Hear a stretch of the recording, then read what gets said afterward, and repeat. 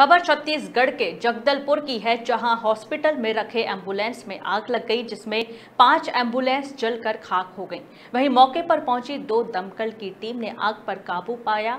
बताया जा रहा है कि हॉस्पिटल में वेल्डिंग का काम चल रहा था, जिससे निकली चिंगारी से एंबुलेंस में आग लग गई। वहीं कबाड़ में रखे 108 के पाँच एंबुलेंस जलकर खाक हो गए।